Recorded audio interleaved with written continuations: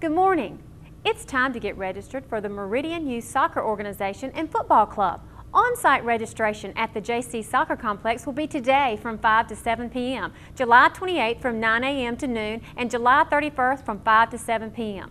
Log on to meridiansoccer.com to download a registration form.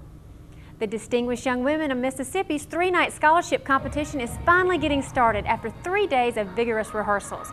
36 young women from around the state will hit the stage at 7.30 tonight at the historic Temple Theater. The competition continues Friday night and a winner will be crowned Saturday night. Contact the Temple Theater box office for more information. The Meridian Football Alumni Club will have a special get-together at the QV Sykes Complex.